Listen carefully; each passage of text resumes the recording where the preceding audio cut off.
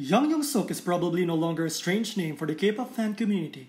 He's formerly the president of YG Entertainment and the creator of great success for YG Empire with a series of famous artists such as Big Bang, 2NE1, Winner, iKON, Blackpink, and Akdong Musician. As a K-pop fan, everyone knows Yang Hyun Suk only devotes his heart to the artists under the company, rarely participates in producing for other groups not under YG. However, during his artist training career, there is a girl group that is not under YG that he helped a lot, Rania. Rania is a Korean girl group that was established by Dr. Music in 2011. In 2012, Rania released a music video called Style. Few know that this song was directed and produced by Yang Hyun Suk with the help of two YG producers Tablo and PK. Not only participating in music production, the former president of YG also commented on the choreography of the song.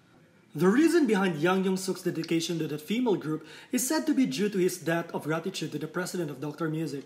According to Yang Hyun Suk, he had a hard time in the 1990s. While struggling to manage money, the former president of YG lent a room from the head of Rania's management company. Perhaps to repay the kindness of that chairman, Dr. Music, Yang Hyun Suk embarked on producing songs for girl group Rania. Even more notable, Rania is still active today under a different name, after many reforms of the lineup and style but still no success.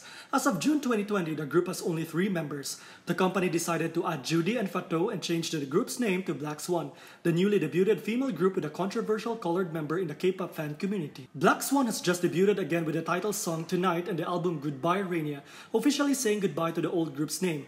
Despite possessing experienced and talented members, the group's new album only sold 14 copies of after the first day of sale. Even a source confirmed that 10 days later, the girl group's album sales were still at this number. The reason is said to be because the management company did not actively promote Rania's comeback.